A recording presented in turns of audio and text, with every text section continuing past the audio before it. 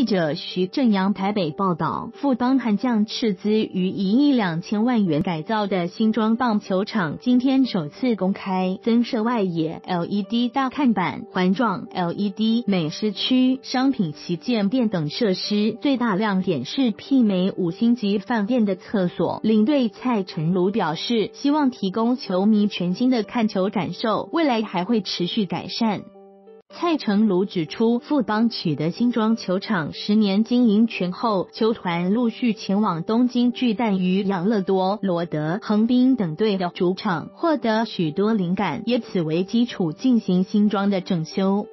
最大亮点的是厕所，视觉与设备都媲美五星级饭店。女厕还为女球迷准备卫生棉与护垫。走进这里的厕所，就像走进五星级的饭店或百货公司。希望从小地方给球迷最好的感受。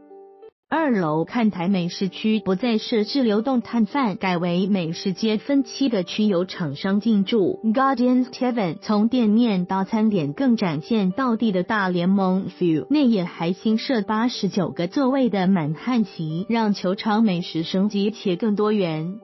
原本三垒侧的棒球文物馆拆除后，改为富邦商品旗舰店，非球赛时间也会营业，将于二十三、二十四日试营运。前中信兄弟球员一奖致星球衣率先上架，张振伟、陈宏文、林玉清、林克谦等人将陆续推出。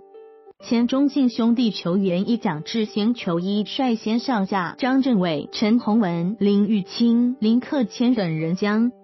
陆续推出。记者林正坤社，前中信兄弟球员一奖致星球衣率先上架，张镇伟、陈宏文、林玉清、林克谦等人将陆续推出。记者林正坤社，富邦悍将主场的新厕所质感大幅提升。记者林正坤社，富邦悍将新设置的满汉席。记者林正坤社。美食街分七个区有厂商进驻，Guardians Kevin 从店面到餐点更展现到地的大联盟 feel。记者林正坤摄。